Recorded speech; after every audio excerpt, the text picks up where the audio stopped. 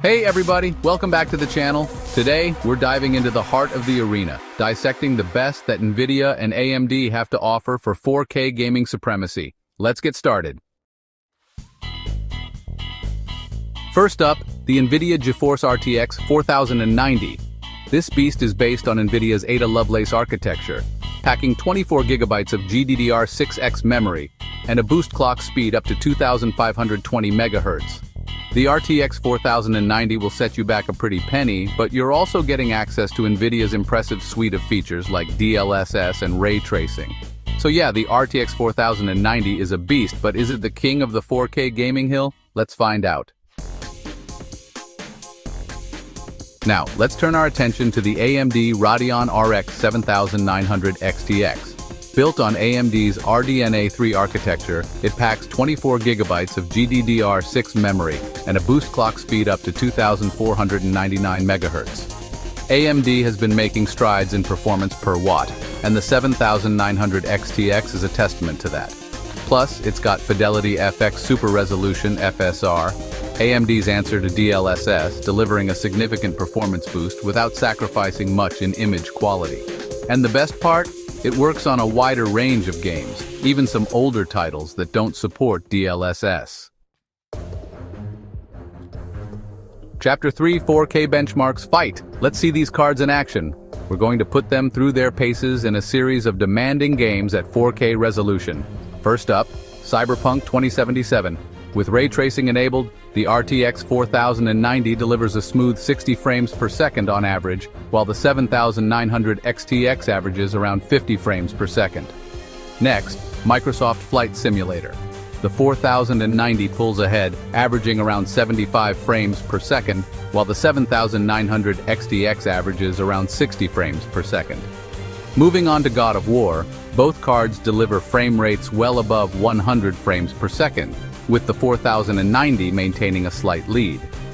Overall, the RTX 4090 consistently delivers higher frame rates, proving it's still the king of raw performance. However, the 7900 XTX puts up a valiant effort, coming surprisingly close to matching its green rival in some cases. Chapter 4 Ray Tracing Throwdown Let's turn our attention to ray tracing, the technology transforming game visuals.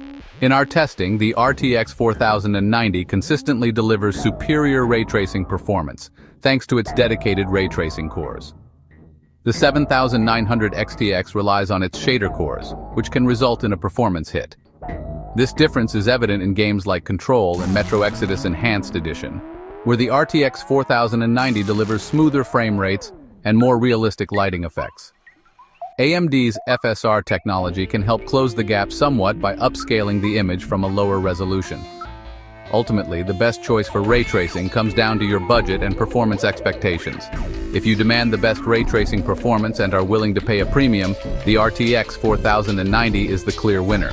However, if you're on a tighter budget or willing to sacrifice some ray tracing fidelity for higher frame rates, the 7900 XTX is a compelling alternative. Chapter 5 The Verdict Which GPU reigns supreme? We've put these two titans through their paces, and it's time to declare a winner. The RTX 4090 is the undisputed king of raw performance, offering the highest frame rates and best ray tracing capabilities. However, the 7900 XTX offers excellent performance at a more palatable price. Ultimately, the best GPU for you comes down to your budget, performance expectations, and individual needs. But one thing's for sure, no matter which card you choose, you're in for one heck of a 4K gaming experience. Well, there you have it, folks. Our epic showdown between NVIDIA and AMD's top GPUs has come to an end. Hopefully, we've shed some light on which card might be the right fit for your 4K gaming needs.